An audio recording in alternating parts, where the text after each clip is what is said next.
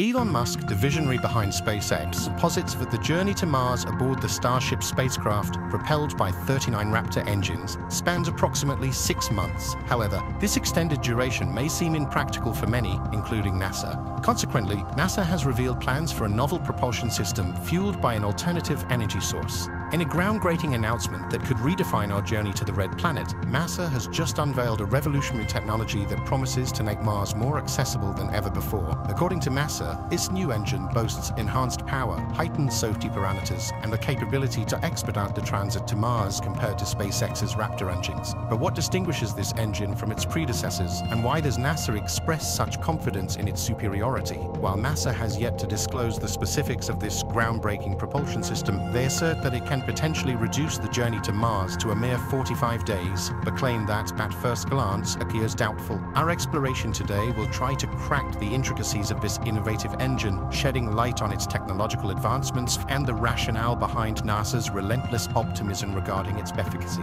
So let's begin to explore NASA's Nuclear Thermal Rocket Project, in a recent presentation at the American Institute of Aeronautics and Astronautics SciTech Forum and Exposition, NASA Administrator Bill Nelson made a groundbreaking announcement. He revealed NASA's ambitious work developing a nuclear thermal rocket project. The term nuclear thermal rocket might sound like something straight out of science fiction, but let us explain it. You see, traditionally, the aerospace industry has relied on engines that burn chemicals like kerosene or liquid methane to propel spacecraft. But NASA is thinking outside the box here. They're revisiting an idea that first emerged in the 1960s, using nuclear energy to power rockets. Back then, they called it the Nerva engine design. The idea gained traction, especially after the successful landing on the moon. Visionaries like Wernher von Braun, the mastermind behind the Saturn V rocket, even proposed using nuclear energy to send humans to Mars. But alas, due to safety concerns and various governmental factors, the idea was shelved, and no nuclear thermal rocket ever made it beyond the drawing board. Fast forward to today, and NASA is again dusting off this concept. With advancements in technology and the intensifying space race, they're giving the nuclear thermal rocket another shot. But this time, they're teaming up with some heavy hitters, including the Defense Advanced Research Projects Agency, better known as DARPA. Together, they're on a mission to accelerate this project and bring it to fruition. So, what's the game plan? Well, NASA will focus on developing these nuclear rocket reactors and engines, and they've even given the engine a cool name, DRACO, which stands for Demonstration Rocket for Agile Cislunar Operations. But what's so special about these nuclear thermal rockets? Well, they have the potential to revolutionize space travel. Unlike traditional chemical rockets with limited fuel capacity and can only take us so far, nuclear thermal rockets offer significantly more power and efficiency. The journey to Mars is fraught with challenges, but with innovations like the nuclear Mars rocket engine, we're one step closer to turning the red planet into humanity's second home. Imagine cutting down travel time to distant celestial bodies like Mars from months to weeks. That's the kind of leap in technology we're talking about here. Plus, with the Draco engine, mass NASA aims to demonstrate its capabilities in cislunar space, the region between Earth and the Moon, paving the way for future missions to the lunar surface and beyond. What about safety? After all, we're talking about nuclear energy here. Well, rest assured, NASA and DARPA are taking safety very seriously. They'll conduct rigorous testing and implement stringent safety protocols to ensure that these nuclear thermal rockets are potent and safe for crewed missions into space. NASA's bold vision for the future of space exploration is fueled by nuclear energy. It's a journey into the unknown, filled with challenges and uncertainties, but also with potential and promise. And with the Draco engine leading the way, who knows what wonders await us? The working of nuclear thermal engine. So how does this fancy new nuclear thermal engine work?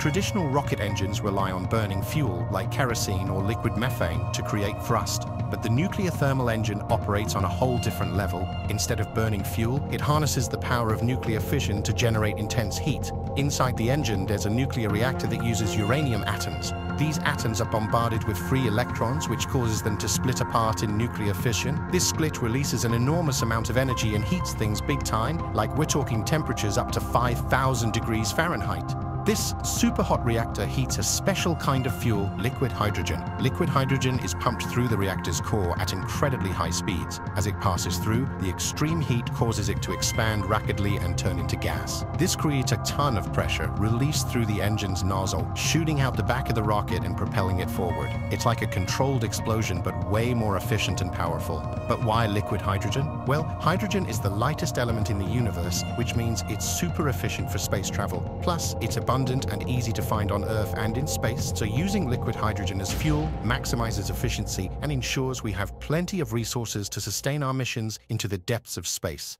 By harnessing the power of nuclear fission and liquid hydrogen, this innovative engine promises to revolutionize space travel, making it faster, safer, and more efficient than ever before. Advantages of NASA's nuclear thermal rocket project. Let's get into the advantages of this nuclear thermal rocket project and how it might shake things up in space travel. First, this new technology promises superior performance to conventional rocket engines. While we don't have specific data yet, experts estimate these nuclear thermal rockets could be three to five times more powerful. That means more thrust, which translates to faster journeys through space. NASA claims they could slash the trip to Mars down to just 45 days, a massive leap from the six months it would take with current technology. To put it in perspective, let's compare it to SpaceX's Starship, which is currently one of the most potent rockets out there. Elon Musk estimated it would take Starship six months to reach Mars. That's four times longer than NASA's estimate with the nuclear thermal engine. And why does this matter so much? Reducing travel time isn't just about convenience, it also solves many tricky problems.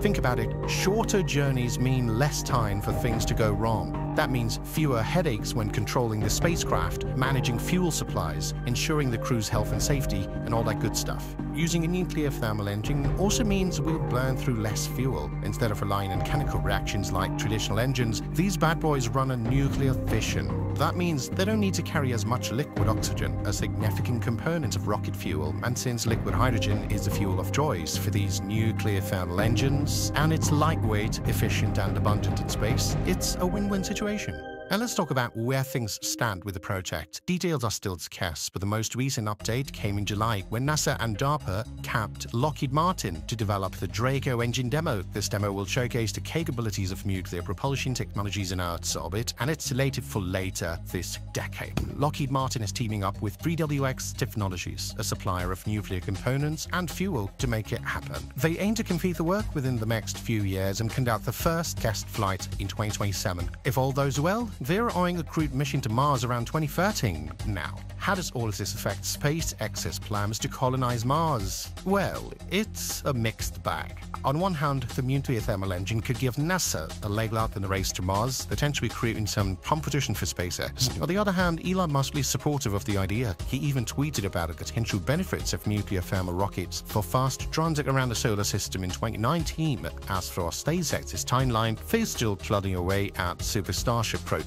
They've made significant progress with some integrated test flights in 2023, although they have yet to reach orbit. But they aim to land an unmanned Starship on Mars around 2027, with crewed missions to follow soon after. So while NASA's nuclear thermal engine might give SpaceX the run for its money in terms of travel time, Elon and his team are still working hard to improve their rockets. Plus, they've got some advantages, like their methane-powered engines, which are cleaner, cheaper, and easier to produce than near their thermal engines. Ultimately, both projects have their strengths and weaknesses, but they're both pushing the boundaries of space exploration, and they may even end up collaborating down the line to propel humanity even further into the cosmos. If you enjoyed this video and found it informative, give it a thumbs up and subscribe to our channel for more exciting content. Stay tuned to Frontier Technology, where we'll continue to bring you the latest breakthroughs and insights into the technologies that are shaping our future. Don't forget to like, share, and subscribe for more fascinating journeys into the world of AI and beyond. Your support means the world to us as we continue to explore the wonders of science and technology together.